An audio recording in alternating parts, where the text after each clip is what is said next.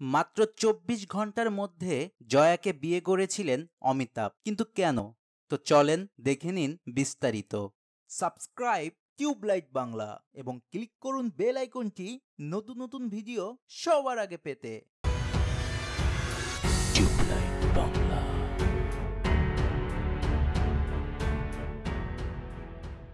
সালটা উনিশশো তিয়াত্তর সুপারহিট হলো অমিতাভের জঞ্জির। তারপর অমিতাভ ঠিক করলেন বন্ধুদের সঙ্গে লন্ডনে বেড়াতে যাবেন সেলিব্রেট করতে। সেই বন্ধুদের দলে ছিলেন জয়া ভাদুরীয় আর সেখানেই বিপত্তি হলো। কিছুদিন আগে অমিতাভ বচ্চন এক সর্বভারতীয় সংবাদ মাধ্যমে বলেছেন, বাবা মাকে জানালাম যে আমরা কয়েকজন বন্ধু মিলে লন্ডনে যাচ্ছি। সঙ্গে সঙ্গে প্রশ্ন এলো, আমার সঙ্গে কারা কারা যাচ্ছে? আমি সবার নাম বললাম। জয়ার নামটাও লুকাইনি বাবা হরিবংশ বচ্চন প্রশ্ন করেন, জয়াও যাবে তোমার সঙ্গে? উত্তরে হ্যাঁ শুনে হরিবংশ বচ্চন আদেশ করেন, তোমার যদি যেতেই হয়, তাহলে বিয়ে করে যাও। লন্ডনের ট্রিপটাও বাতিল করার কোনো উপায় ছিল না অমিতাভের। কারণ এই ট্রিপের সঙ্গে জড়িয়েছিলেন অমিতাভের অনেক বন্ধু। তাদের মন ভেঙে ট্রিপ বাতিল করতে চাননি তিনি। আর তাই ঠিক করেন, পরের দিনই বিয়ে করবেন জয়াকে। যেমন ভাবা, তেমন কাজ। পরের দিন সকালে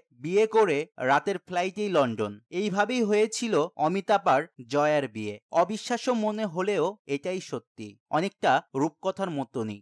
তো বন্ধুরা, জয়া ও অমিতাভের এই বিয়ে নিয়ে আপনাদের মতামত কি? কমেন্ট বক্সে কমেন্ট করে জানাবেন। আর ভিডিওটি ভালো লাগলে ভিডিওটিতে একটা লাইক দিবেন এবং ভিডিওটি সবার সাথে শেয়ার করবেন। এই ধরনের ভিডিও আরও দেখতে চাইলে এখনই টিউবলাইট বাংলা চ্যানেলটিকে সাবস্ক্রাইব করতে ভুলবেন না।